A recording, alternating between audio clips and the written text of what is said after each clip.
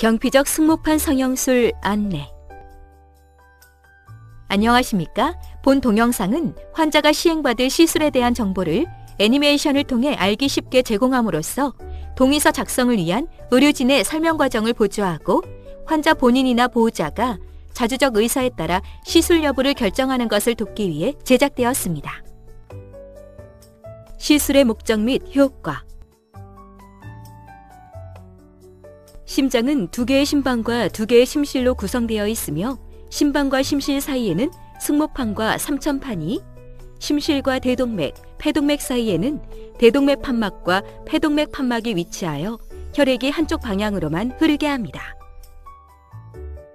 우심실과 폐동맥을 거쳐 폐포 모세혈관을 통과하면서 산소와 이산화탄소를 교환한 혈액은 폐정맥을 통해 좌심방으로 돌아온 다음 좌심실과 대동맥을 통해 전신의 신체 조직에 산소와 영양분을 공급합니다. 승모판 협착증이란 좌심방과 좌심실 사이에 위치하고 있는 승모판이 류마티스성 심질환의 후유증 등에 의해 판막이 딱딱해지고 요착되면서 좁아진 상태를 말합니다. 승모판 협착증이 발생하면 폐정맥을 통해 좌심방으로 들어온 혈액이 좁아진 승모판막으로 인해 좌심실로 잘 흘러가지 못하고 정체됩니다. 그 결과 좌심방과 폐 및 우측 심장에 혈액이 정체되는 부담을 주게 되면서 숨이 찬 증상이 나타나고 장기적으로는 심방세동이나 폐동맥 고혈압, 우심부전 등의 합병증이 발생합니다. 경피적 승모판 성형술이란 피부를 통해 심장 내부로 풍선이 달린 도관을 삽입한 다음 이것을 이용하여 좁아진 승모판을 확장시키는 시술입니다. 시술이 성공적으로 이루어지면 확장된 승모판막으로 혈류가 잘 흘러가게 되면서 좌심방의 부담이 감소하게 되고 이로 인해 숨이 찬 증상이 개선되며 폐동맥의 압력도 낮아집니다.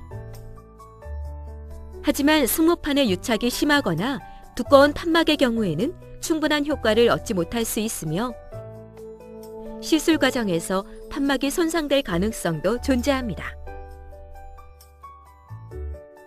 그러므로 본 시술을 시행하기 전에는 수술을 통해 손상된 판막을 직접 교정해주는 판막 성형술이나 손상된 판막을 교체하는 판막 치환 수술과의 장단점을 종합적으로 고려하여 환자의 상태에 맞는 치료 방법을 선택하는 것이 중요합니다. 시술 과정 및 방법, 시술 부위 및 추정 소요 시간, 시술 전 준비 사항. 과거에 조영제에 과민 반응이 있었거나 약물 부작용을 경험하신 분들은 사전에 의료진에게 말씀하여 주십시오. 시술을 위해서는 8시간 이상의 금식이 필요합니다. 시술 과정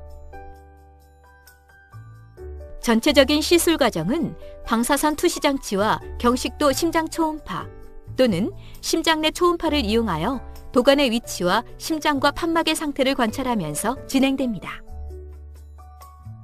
참고로 식도를 통해 경식도 심장 초음파 장치를 삽입하는 경우에는 전신 마취를 시행하고 혈관을 통해 심장 내 초음파 장치를 삽입하는 경우에는 국소 마취를 시행합니다.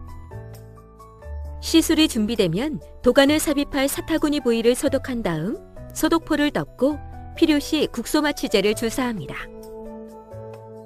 의료진은 주사 바늘로 대퇴정맥을 천자하고 안내용 철선과 혈관초를 삽입한 다음 철선을 따라 오심방 내부로 도관을 삽입합니다. 심방 중격을 천자하여 오심방에서 자심방으로 도관을 통과시키고 좁아진 승모판에 도관을 위치시킨 다음에는 도관에 장착된 풍선을 확장시켜서 좁아져 있는 승모판을 넓혀줍니다. 이상의 과정을 통해 좁아진 승모판을 넓힌 후에는 도관과 혈관초를 제거하고 천자 부위를 압박하여 실수를 마무리합니다. 추정 소요 시간 시술에 소요되는 시간은 2시간에서 3시간 정도이지만 준비에 걸리는 시간과 환자의 상태에 따라서는 더 오랜 시간이 걸릴 수도 있습니다. 발현 가능한 합병증의 내용, 정도 및 대처 방법. 국소적 합병증. 혈관을 천자한 부위에 통증이나 감염, 멍이나 혈종 등이 발생할 수 있으나 대부분 시간이 지나거나 적절한 치료를 통해 호전됩니다. 드물지만 동맥과 정맥 사이에 누공이 형성되는 동정맥류나 동맥이 꽈리처럼 부풀어 오르는 동맥류가 생성되는 경우에는 수술적 치료가 필요할 수 있습니다. 도관 관련 합병증 극히 드물지만 시술에 사용하는 철선이나 도관 등이 끊어지면서 문제를 일으킬 수 있는데 제거가 어려운 경우에는 수술이 필요할 수 있습니다. 불충분한 승모판 확장, 재협착. 일부 환자에서는 시술 후에도 승모판이 충분히 확장되지 않거나 시간이 지나면서 다시 좁아지는 재협착이 발생할 수 있는데 이러한 경우에는 판막 성형 수술이나 판막 치환술을 고려해야 합니다. 판막 손상 풍선으로 판막을 확장시키는 과정에서 판막이 손상될 수 있습니다.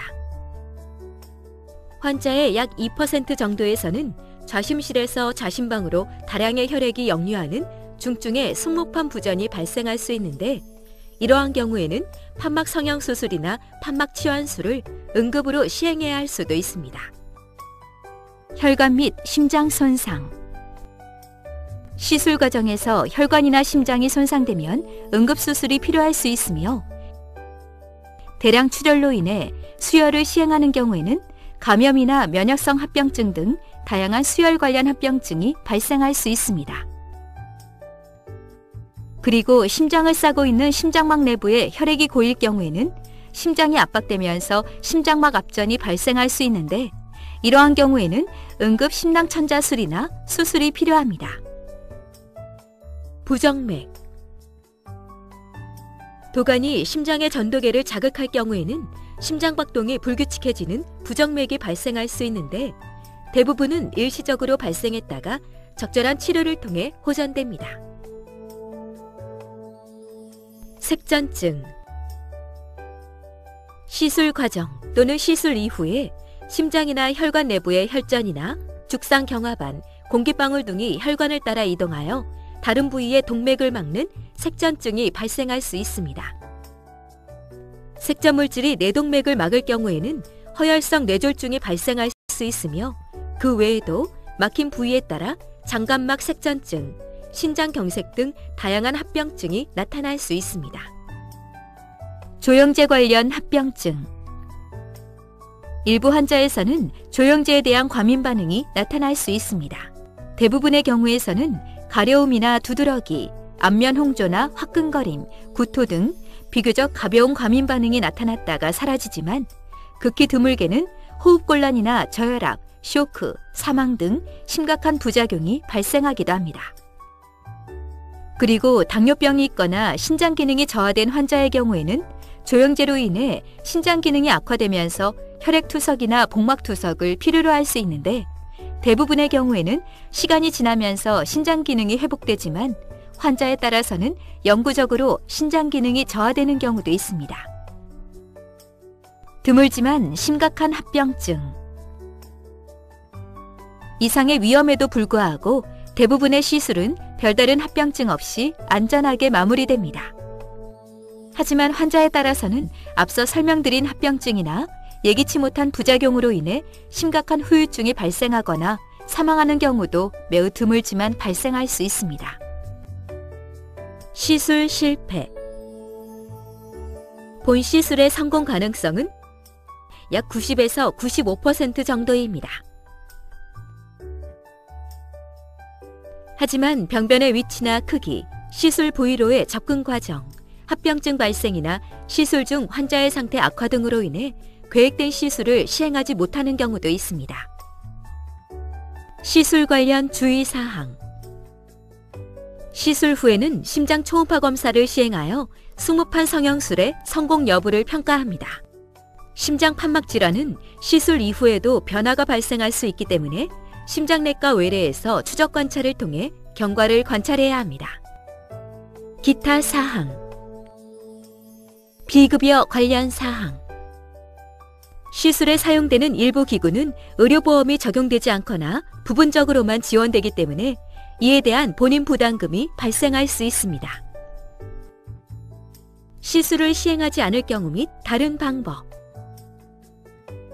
승모판이 좁아진 상태가 계속되면 좌심방과 폐동맥의 압력이 높아지면서 호흡곤란과 폐동맥 고혈압, 오심방 부전이 진행합니다.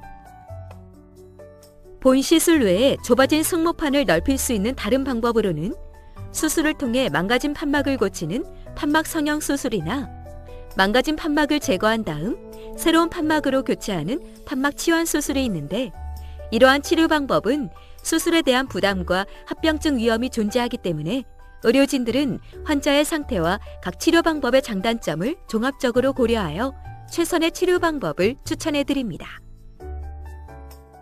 지금까지 경피적 승모판 성형술에 대해 설명드렸습니다. 감사합니다.